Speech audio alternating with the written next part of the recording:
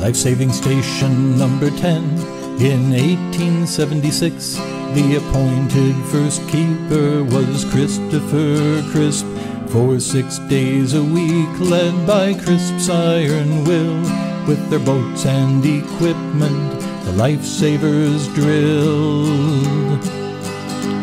In August 96, the Phineas S. Marsh, a schooner with a cargo of limestone blocks.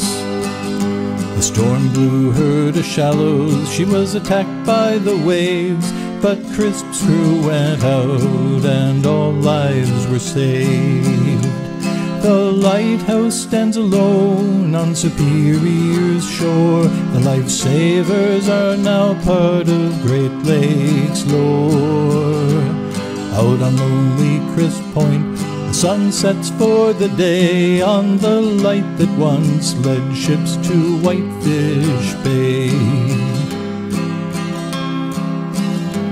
When the shipping lanes opened in 1904, a new lighthouse shined on Superior's shore.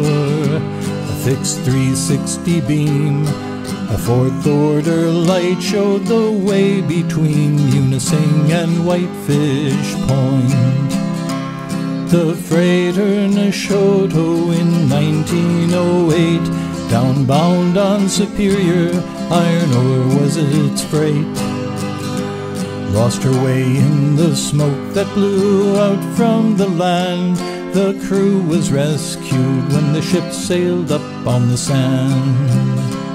The lighthouse stands alone on Superior's shore. The lifesavers are now part of Great Lakes lore.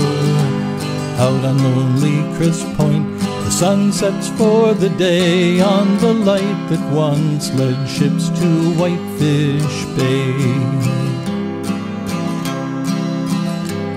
Today on Crisp Point, the lifesaver's gone in 1965. The building's torn down.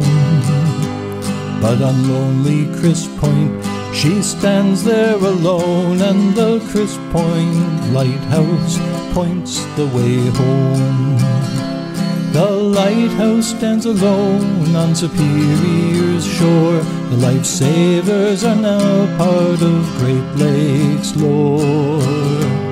Out on lonely Crisp Point, the sun sets for the day on the light that once led ships to Whitefish Bay.